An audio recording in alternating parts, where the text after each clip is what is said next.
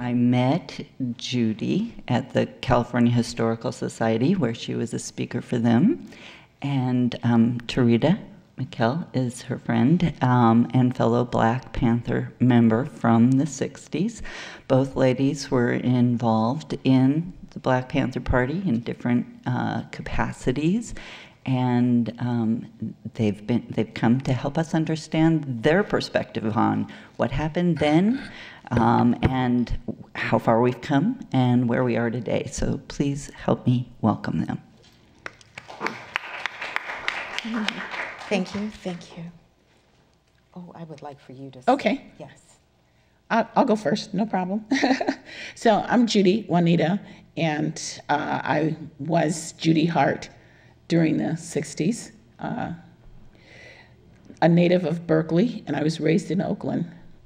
I first ran into Huey Newton and Bobby Seale at Oakland City College, which was what Merritt College was called then. And it was located on the old Grove Street. And it actually became the Grove Street, Grove Street College for a while. But in the 50s and the 60s, it was Oakland City College. Actually, a few years beyond that, Evelle Younger, who was um, Attorney General for Ronald Reagan, called Merritt College a hotbed for revolutionaries. And yeah, right. so, like many young people in California, I just went to the community college at 16. Uh, I just graduated from high school.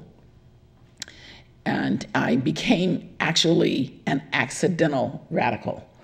By that I mean I just go out on the front lawn and look at all the radicals uh, um, on their soapboxes. Now on college campuses, if you go down any kind of commons area, they're selling um, earrings, you know, and T-shirts or something. But then there was the SDS table, the W.E.B. Du Bois table, all of the radical groups. Um, and also, there were many, many black radicals. I didn't understand what they were talking about then.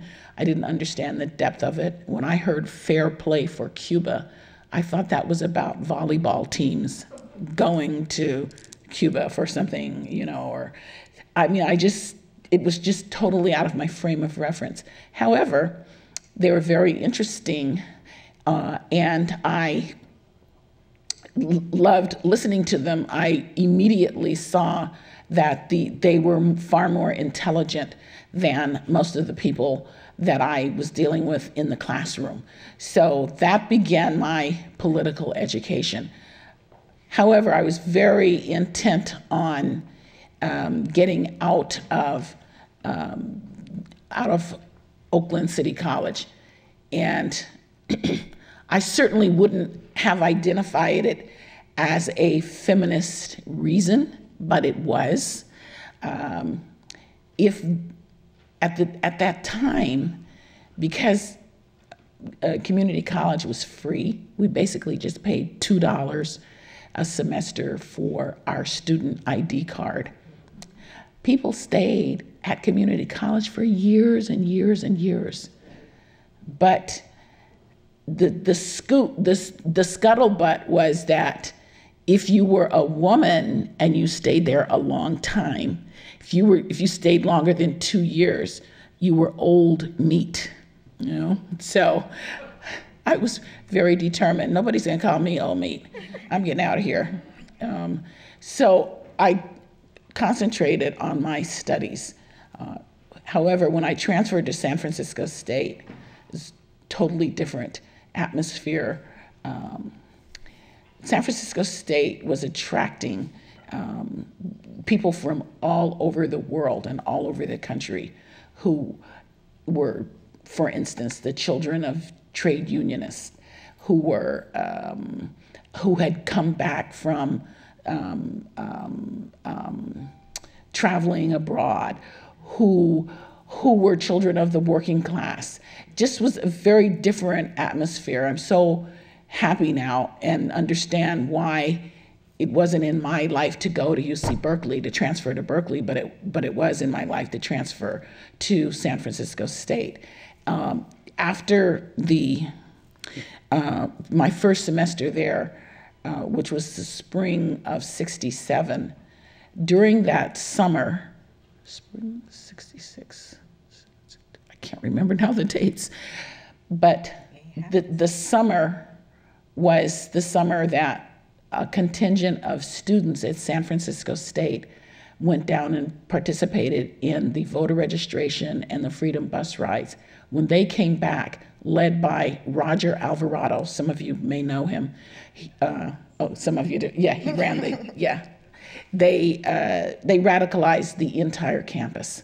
Um, and once again, um, school was uh, far more interesting on the outside than it was on the inside, inside the classroom, because we hadn't changed the, the curriculum yet. So um, I became involved in the tutorial program. Uh, and then it was a gradual radicalization from there. My roommates and I in San Francisco were the first group of students from San Francisco State to join the Black Panther Party when we, in the spring of 67, yes, spring of 67, um, Huey and Bobby and several other Panthers came to the campus recruiting, just like IBM and Clorox. They, they came and they had a room reserved and they had sign up sheets in the back. And um, my roommates were all for it and they said, let's let's join. We were all pretty radical. We had the huge naturals and the whole stance. Um, but my uh, mother, who was a lifelong government employee, had always drilled in my head, you know, never sell your body, never sell your soul, never sell your country. Uh, so uh, I hesitated. However, that summer, instead of being the summer of love, as the media named it in years afterwards, it was a lo- another long, hot summer, meaning the American cities were aflame with urban riots and rebellions, like in Detroit, Los Angeles. They had happened all over in larger cities. So by August, I joined with my, uh, by August, I had joined with my roommates.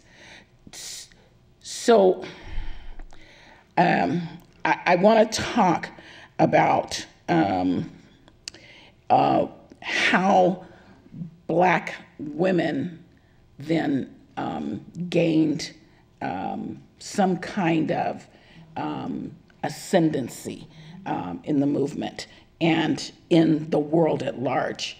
Um, we, first of all, the Black is Beautiful movement, or or the Black empowerment movement, had to deal with color cast in the Black community, had to deal with, you know, Lena Horne is beautiful and no one else is. Okay, it had to deal with the mulatto complex. That had to to um, that had ascendancy. And when I say it had ascendancy, I mean actually one's fate or one's destiny was determined by one's skin color, whether or not one was light skinned or dark skinned. Even the, our um, historically black colleges like Howard and Spelman and Morehouse had in the earlier part of last century what they call the paper bag test. And people had to be lighter than a, the color of the paper bag in order to be admitted into certain things, certain schools, and indefinitely in certain fraternities. Certain fraternities, sororities were for lighter skinned people or darker skinned people. So this was a cleavage in the black community for years and years. It was a caste system. So black women had to overcome that very unhealthy limitation uh, from dark skin prejudice first. I had a pretty long interview with Richard Wolinsky at KPFA, and he said, "Was was black was was black is beautiful? Was that really that important?" You know, you know. And it took me a while to kind of reel, finish reeling. Yes, it was, because we had to be empowered first within ourselves and get over a certain degree of self hatred and a lack of self esteem before we could turn around and face the larger community. So it, I have to point out that, um, and I deal with that a lot in my, in my book, Virgin Soul, colorism. Um, the, the women in the, in the Black Panther Party who were first um, put up in, in in the front or uh, were Kathleen Cleaver mm-hmm. um, and Angela Davis and Ericka Huggins mm-hmm. and Elaine Brown. Mm-hmm. Well, all of those women were um, what is called high yellow. Mm-hmm. Okay. Um, and they're all very intelligent, very competent women. Mm-hmm. Okay. But the Black is Beautiful movement, uh, like all the other movements in any society, take years and decades to penetrate different levels of society. So it wasn't until um, around 1972 when Sounder came out that the beauty of a dark skinned woman like Cicely Tyson was recognized as a beauty standard, meaning other people tried to look like Cicely Tyson. Other young women tried to style their hair in a very short natural. So, so the color prejudice that was in society was in the party too.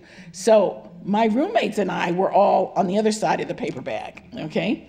So we came in, and also, as we discussed, um, the uh, pill, the pill had made uh, sexual freedom uh, possible for anyone at that point.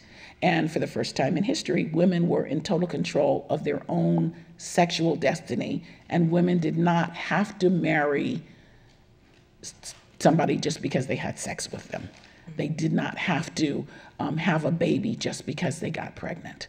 So, uh, my roommates and I exercised our sexual freedom. Okay, uh, what hap- What happened with that? okay, so one of our, our, our one of my roommates, who was Bobby Seale's scheduler, she, uh, her her brother-in-law, um, who was what we called an older dude. You know, he was like 28 or whatever. yeah he said, you got, we lived in a big, a fabulous uh, nine room flat, which became a safe house for the party. And, um, and he said, people are saying that you all are a big cat house and that everybody, you know, guys can go over there and, you know, jump on you, get you, you know, anytime. So you better watch out. Your reputation is spreading, you know. And actually, two of us were extremely sexually active and three of us weren't. So we we just laughed at that. You know, we thought that was a big joke. Um, we didn't take it seriously um, in terms of it impeding our activity. Now, that was that's dealing with family. How we dealt with it in the party, we were in at a very early stage 67, 68, 69. So we became known as difficult. Does anybody anybody know what that? Okay, anybody know what that means? You know. A little bit. Okay, you know. One of my uh, roommates, her take on it, and she actually was um, going with little Bobby Hutton uh, at the time that he died. She called it not going for the okey doke. Mm. So that meant if somebody asked you to sleep with them, if you wanted to, yes. If you didn't want to, you weren't going for the okey doke. You know, so sometimes when one of us would come home from being out at a party or what have you, or with someone, we would, you know, we would say, so did you go for the okey doke, you know, that kind of thing. So, so what I'm trying to approach is is what uh, my second book deals with: de facto feminism. De facto feminism meaning black women had to learn how to fight um, and how to be independent, even if they didn't want to be. We had to be. Our, our source of income was not tied to a definite, you know, gray flannel suit or a man with a good union job. Um, we had to um, form friendships with one another, um, close friendships, because oftentimes the men in our lives weren't there for long, um, or they weren't there for a lifetime. And um, you know, even the mortality rates show that that the men are are not, uh, the men don't live as long, black men don't live as long. So oftentimes, then we have to turn to one another, uh, you know, for companionship, for emotional support, and even for finances, for finances. So the other thing, um, okay, uh, let me just. Okay, so 75% of the Black Panther Party was female. Okay. Mm-hmm. Yeah, most, in other words, and there was there was never more than maybe five to eight thousand members uh, nationwide. Okay, there were it's very small. It's just that we had a lot of what are called fellow travelers, always people coming out to the rallies. When I was a young person in in Oakland, going to Defremery Park, you know, on 14th and Adeline that was the hotspot. So people came out there. It didn't they weren't necessarily a member of the Black Panther Party. However, they were aware that coming out there meant that they put their lives in some kind of jeopardy because at any time as the the saying went, the pigs might vamp. So uh, people went out there, and our parents were all alarmed because we were there. But the women in the party uh, we were more on in the background, other than perhaps what you would call the stars.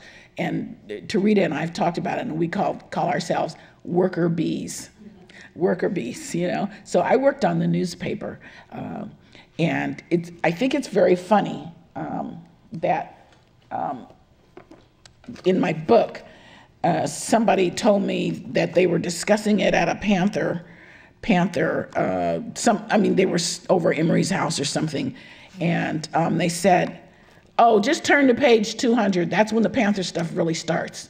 You know, you know, you know. So I just want to just read a little bit of that um, to give you an idea of what we did, and and I think when you hear it, you you can see that we were.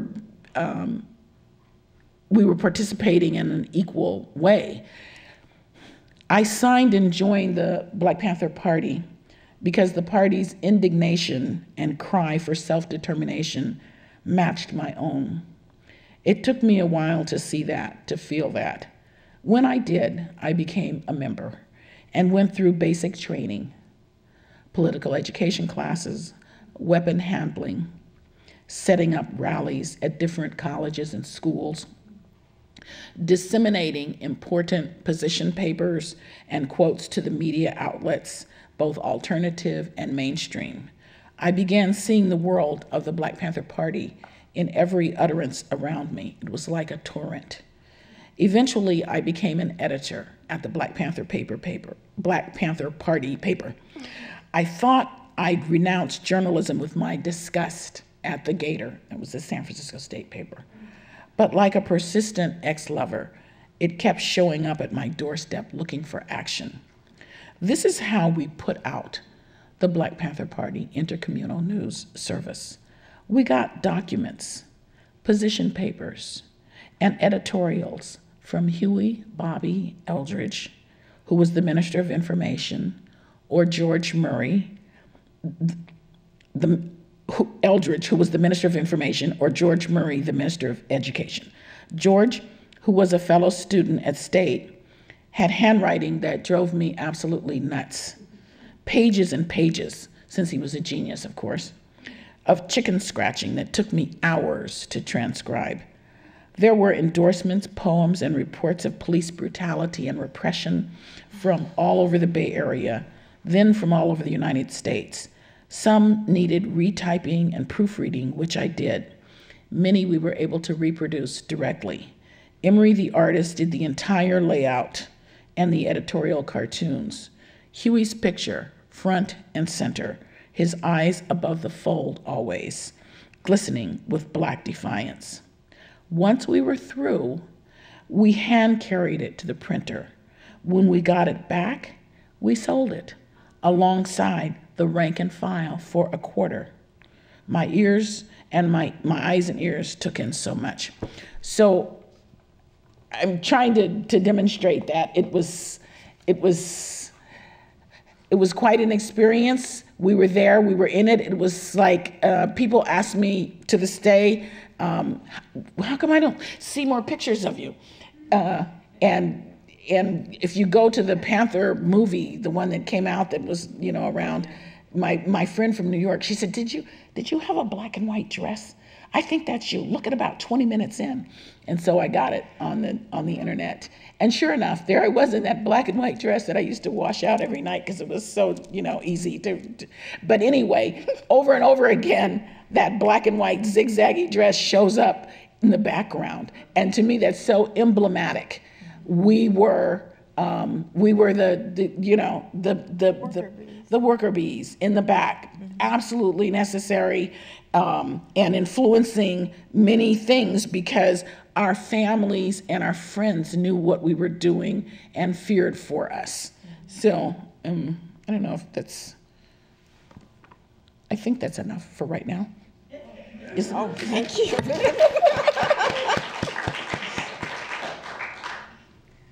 Well, oh, I tell people um, I still have PTSD when the um, exhibit we saw there at uh, in Oakland, yeah, at the Oakland Museum. I, I walked in and I was like, and I kept looking around and I just walked straight out. And then I'm shaking and then there's tears and I said, where is this from? I can't remember. There are things I cannot remember, but the tissues hold memories and bits and pieces come out. And so, um, yes, that was that was a time not long out of foster care. So I, my, my coming up into the Black Panther Party was as a foster child. So I was already disenfranchised. I was already put off by the foster parent the state gave me, who took care of foster children, uh, working mothers, and a um, stable of women owned by a pimp. Um, and that's what, you know, because I said, oh, stable of, what's a stable? You know, fine young fillies. Uh, you know, just, and there were things that, um, that the, the Panthers we're talking about self determination and moving forward. And there were things that I witnessed just being in that foster care situation in San Francisco with the woman whose baby was sick. And she's changing the diaper, and the penis is red and swollen. And so I suggest to her that she run away you know, just take the baby and run, but she belongs to this pimp. And so this, there's this, you know, patriarchy that's so instilled. I also learned more about the patriarchal uh, issues through a book called Widow Black Mama uh, by Iceberg Slim. Yeah.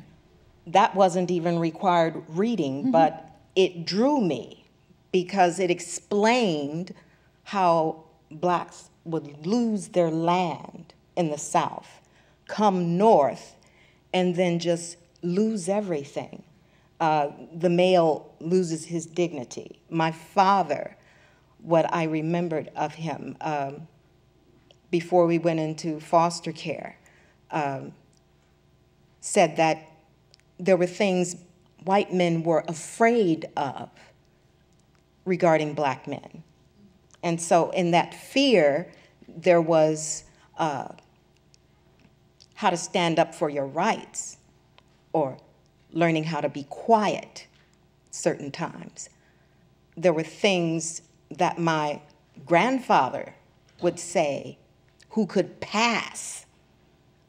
Um, he looked, now he was mulatto or, and he was the light skinned one, as they would say in, in families.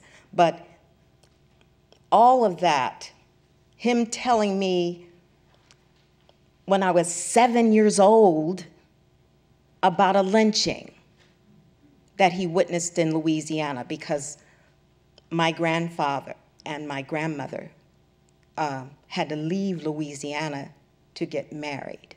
They kept the article, you know, they called it miscegenation, but he, he was, you know, he had that one drop of black blood, but still, it was that energy there, but for him to tell me about a lynching. So, so disenfranchisement in foster care, the lynching before I'm, to, I'm before I go into foster care. My mother passed when I was 10, so we went into foster care because my my father couldn't handle it. He kept seeing spirits, and that's another story because wow, as we talked about astrology, the summer of love and all of that, you know, astrology, the all the things, the palm readings, the tarot, all of that energy was very much alive and because we wanted to be alive. You know, we were discounting the establishment, you know, the religion, all of these things that tried to hold us down and then Martin Luther King was killed before the, the day before my birthday. And my daughter's father was the president of the, the Black Student Union at Laney. And so there were these things that were mounting. Things are just, they're mounting. And then, um, wow, we have a disease called sickle cell that's specifically affects black people.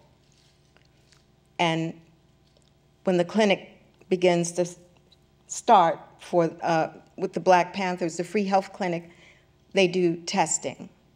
And I see these vans out at Laney and different places where they're, they're doing that, um, testing for sickle cell. I also had this drive for biological science. And so that's what my thing was. I said, we have to fix something, something has to be done. And so the sciences is where I ended up. The pill is what I learned about in physiology, where uh, I forget who this amazing professor but he would show us films about what the pill could do to the body of a woman and how you should be careful with it. Um, so I took everything, all the classes for pre-med for, you know, just smelling cadavers, walking into a grocery store and smelling the formaldehyde, which broke the meat thing immediately.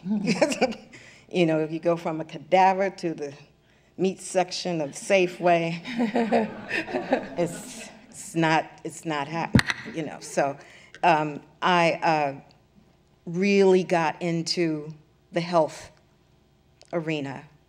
Um, got involved with the free health clinic, and there were there were so many things. I I. Uh, I wrote, and forgive me for uh, being a little spacey because I'm, I'm addressing something that was a big turnaround for me to come out of foster care in 67, 68, um, be kicked out of high school because the foster parent wouldn't let you go to school. I mean, there's all the, you know, so the, what was the panel up here before that said it didn't matter if you were black or, or white or, you know, whatever your gender was, you're going to oppress me. That's the bottom line. If you're going to oppress me, I'm not going to have anything to do with you. And so I'm, I'm looking at all these layers and levels of oppression. So by the, the time I'm 11, 12 years old, I have Bell's palsy and half my face goes dead. Uh, there are girls, uh, Spanish, white, Jewish, um, black girls talking about how their fathers raped them, uh, what they went through. Um, and this is in um, Sconetica Cottage on 150th. All these things are mounting up, and then black people, you know, I'm remembering the lynching, my father uh, talking to me about all these things that black men go through, and, and then hearing Stokely Carmichael at Merritt College. Um, that was, that was a, astounding. Um, listening to some of the things that later on I would be able to actually do with him, which was to interview him, speak with him. And he, among the, all those that I would speak to, he was accessible. His heart was there. He would look you in the eye and speak about your concern in the community, how people were being treated, what was going on. Uh, he, he, he made a statement in one of the interviews, and I, I, I quote it in the book as well. Education in this country makes you stupid, but what is worse, it makes you arrogant in your stupidity. I said, whoa. Because I was witnessing things. I had this circular way of thinking that no one could address while I was in school. I, I was, uh, you know, any exam I took had to connect, you know, sociology had to connect to physiology, had to connect to, you know, all chemistry. Uh, I, I didn't understand why it did not connect, nor why I felt it had to. Mm. And so when he said that, I was able to understand not only is our oppression relating to just our physicality and skin color, but it's also relating to the mind. Uh, I had a chemistry professor who told me that I could not use the method of solving problems, even though I got the right answer. He said uh, I had to use the method he taught. And I said, but why if we come up with the same answer? And he couldn't give me an answer. I, I ended up working and studying with Africans in my class because you know Africans would come here and just blow chemistry up. Chem 1A, 1B. I mean, wow, they were on it. So I, I studied with them, and uh, I said, yeah, I'm, I'm used they would say, We don't know why they make it so difficult. uh, pounds and ounces should be like grams and moles. I said, Yeah, it makes sense to me, you know. So um, I studied with them and I said, Well, if we turn in our homework together, it would all work. And uh, so they got all theirs correct, and wow. And then I get mine. I said, Well, what happened? I said, We studied together, uh, used the same methods. He said to me, They're going back to Africa. You're not. You have to stick with the method I give you. That was like I had temporary aphasia. I, I couldn't, you know, I, I was a single mother. I couldn't uh, stop. I couldn't, I couldn't, uh, it, it just blew my mind. I said, how many ways can we be oppressed? Hmm. How many ways are we being oppressed? At the George Jackson Free Health Clinic, when we recognized that drugs were being spread throughout our communities to weaken the black power base, to cause strife in the communities between those who wanted the drugs out and those who used the drugs to self medicate and make money. So, all of this was going on. We tried to set up methadone programs, which we thought at the time methadone would help people get off heroin. We learned other things, but you know, we were trying. We um, there were there were we felt we we did a number of things that we felt were very, very powerful for our people. So I, I, I, I don't know what I, I can, what more I can say other than I spent some time at the clinic.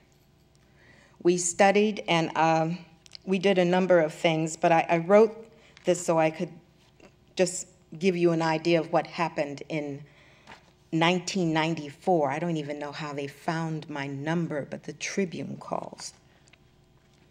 We were soldiers on the battlefield with life light in our eyes, said Sister Sonia. 1994 Tribune calls. Ask, how many guns did you have at the clinic? How many guns? Not how many services were provided, not how many programs were implemented, not how many doctors or healthcare workers volunteered, not even why we cared to put into practice such a program with so many hospitals in our community. No, the reporter didn't ask any of that. She asked, How many guns did we have? Not what illnesses or diseases most affected our communities or how often we provided diabetes, sickle cell, and high blood pressure tests, if at all, or what was my field at the clinic, though I could have told her my interest in certain grains to regain genetic memory. But she was more interested in how many guns we had not who ran the clinic or what hours and days of the week we were open or who was our hero or shero to set about such a task as managing the clinic or what was assessed that continues to sustain communities' health needs today. No, the reporter asked, How many guns did you have?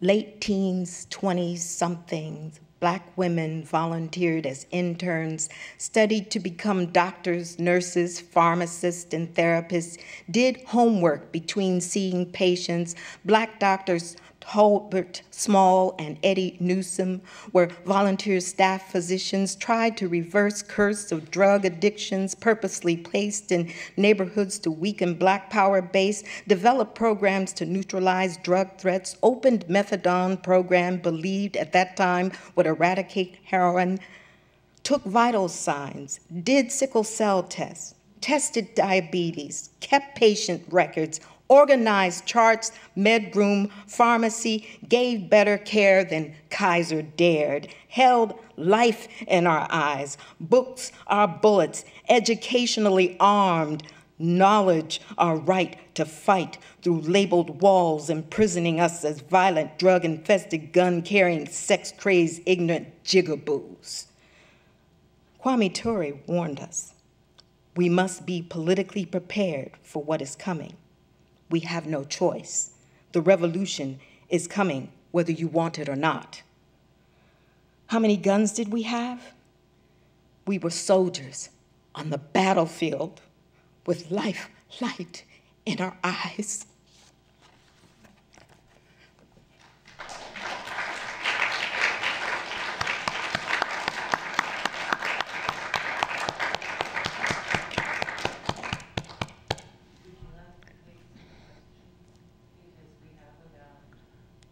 Sure.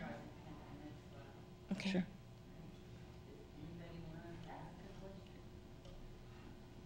So, thank you for this. Um, I remember back in the day, there was uh, a, um, an idea that was circulated in the community that birth control pills were genocidal. Yeah. And I'm wondering if you could just comment on that. Well, not only were they, um, they were genocidal, but also had a side effect. Um, this, this, this freedom love thing was great. It was beautiful. I got pregnant.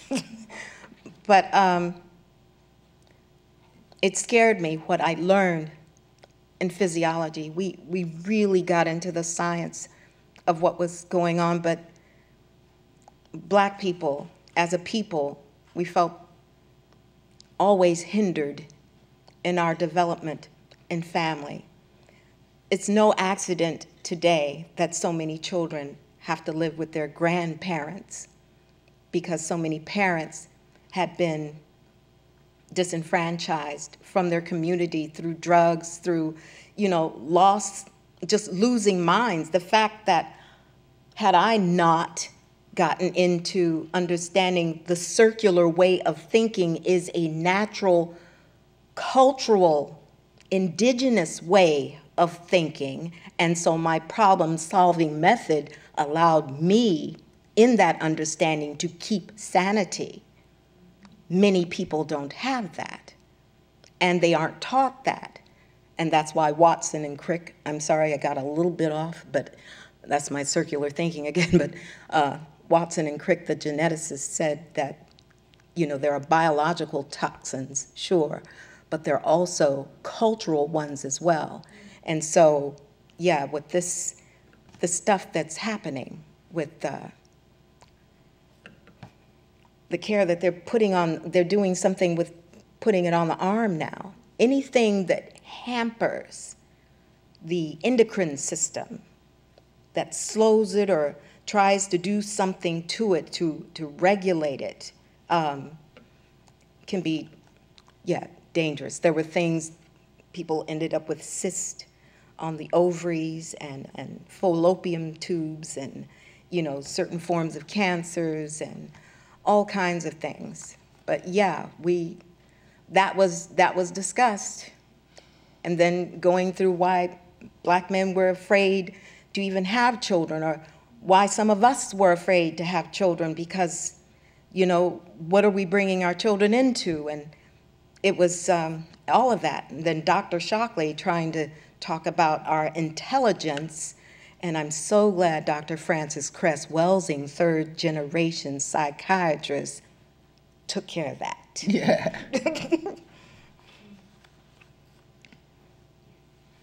Um, Thank you very much.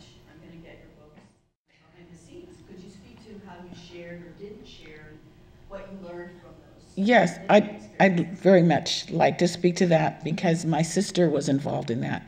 My sister is nine years younger than I am, and my mom used to call us her nine-year delayed twins because it seemed like seems like whatever I did, then nine years later she would do it. So actually, nine years later, she got involved in the Panthers, went into a an intentional uh, house in her senior year of high school, senior year of high school, and um, by that time, the Panther Party had worked out those internal contradictions about the treatment of women.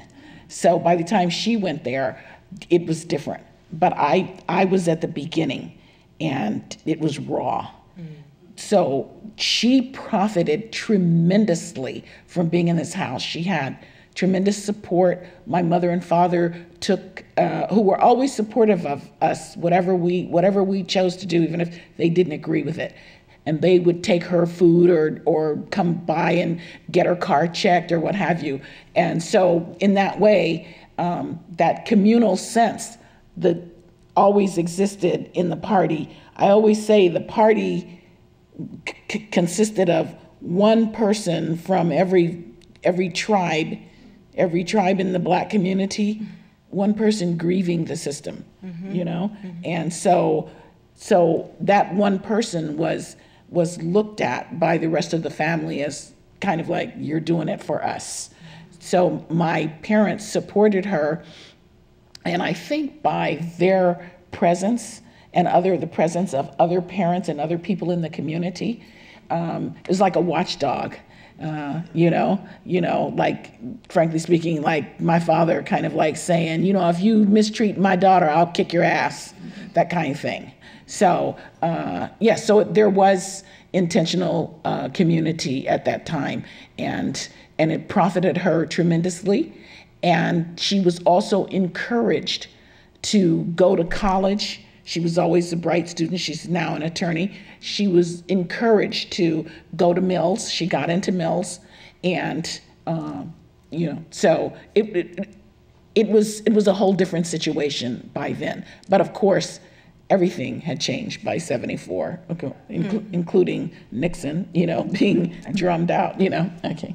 And I'm, I'm thankful we didn't go through that, though there were a majority of women at the clinic that worked, and uh, we were there from, you know, we just had different shifts. But in the evening, I I don't remember being accosted or anyone talking about that person did this or that, or, you know, any male uh, mistreatment. Uh, But it went on. It went on in the early days. Oh yeah, yeah. Yeah, But we we spoke out ab- ab- against it. We fought against it. Um, a lot of people quit because of it, but it changed. It changed. All right. Well, thank you very much, ladies. And again, it's break time, 20 after. Thank you very much.